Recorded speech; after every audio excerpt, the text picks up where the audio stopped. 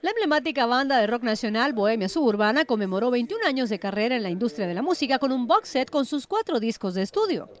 Bohemia, que a la fecha continúa con cuatro de sus cinco integrantes originales, cuentan con una trayectoria de separación, reencuentro hasta presentaciones en vivo en diferentes ciudades de América y del Caribe, y un repertorio de más de 40 canciones, muchas de ellas son motivo de cover en bandas que recién inician sus aspiraciones en la música y son coreadas en donde sea que se escuchen. El box set, el colectorio, fue presentado al público la semana pasada en el que se incluyen los primeros cuatro álbumes de estudio producidos hasta el momento. Sombras en el jardín, Mil palabras con sus dientes, Sub y Bohemia Suburbana.